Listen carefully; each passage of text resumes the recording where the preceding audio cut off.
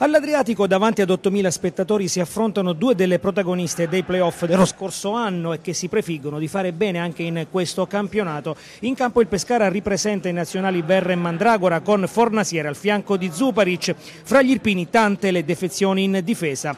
Il Pescara inizia il match con un piglio deciso. Al quarto c'è un diagonale di Verre in area con la correzione in scivolata di Gianluca Lapadula che mette di un soffio al lato dando l'illusione del gol agli spettatori presenti in tribuna.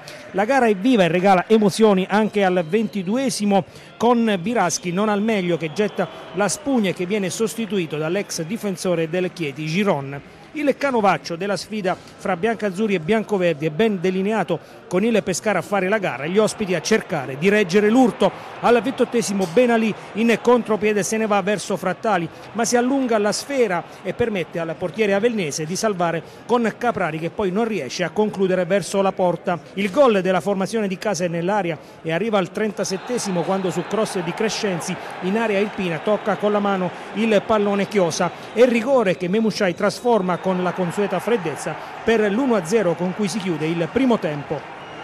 Nella ripresa si ricomincia all'insegna dell'equilibrio prima del raddoppio biancazzurro griffato da Verre al settimo che festeggia così con un diagonale perfetto il primo gol in maglia biancazzurra.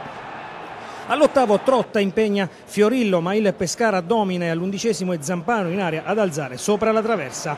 Ma chi pensa ad una gara in discesa deve ricredersi perché al diciassettesimo Zito, appena entrato in campo, lascia il segno realizzando il gol del 2-1 e che riapre la partita. Il Pescara rischia e traballa ma resiste anche se al ventiseiesimo Fiorillo, colpito involontariamente da Fornasier, resta a terra per quasi 5 minuti prima di riprendersi. Ma superato il momento di impasse, il Pescara ritorna a colpire in modo modo micidiale al 34esimo con un erogol di Gianluca Caprari fa esplodere l'entusiasmo dei supporters biancazzurri. Sul 3-1 il Pescara respira e poco dopo sfiora al 38esimo il poker con la Padula che chiama al miracolo con i piedi frattali prima di colpire di testa di poco a lato sugli sviluppi del calcio d'angolo, ma la sofferenza è di casa all'Adriatico visto che al 45esimo arriva sugli sviluppi di un calcio d'angolo la rete di Mokulu che va a colpire di testa da due passi fissando il punteggio sul 3-2 e dopo un recupero di 7 minuti può iniziare la festa sugli spalti con il Pescara che festeggia altri tre punti ed una classifica che sa sempre più di Serie A.